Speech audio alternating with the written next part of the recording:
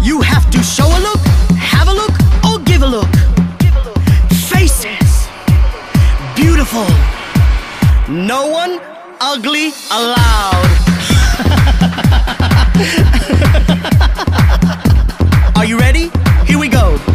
Fashion is the art. Designers are the gods. Models play the part of angels in the dark. Which one of you would ever dare to go against that beauty is a trade?